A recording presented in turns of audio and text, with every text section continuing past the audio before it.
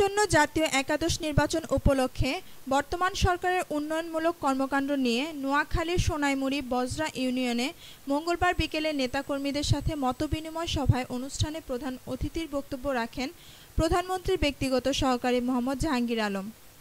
অতিথির বক্তব্য রাখেন আওয়ামী লীগের কেন্দ্রীয় কমিটির সদস্য খন্দকার রুহুল আমিন, সোনাইমুড়ি উপজেলা আওয়ামী লীগের সভাপতি মমিনুল ইসলাম বাকের, সাধারণ সম্পাদক আফম বাবু ধর্ম বিষয়ক সম্পাদক আবুল খায়ের।